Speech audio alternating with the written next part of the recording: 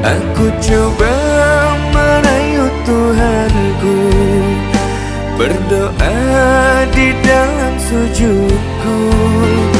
Jika kita ditakdirkan ber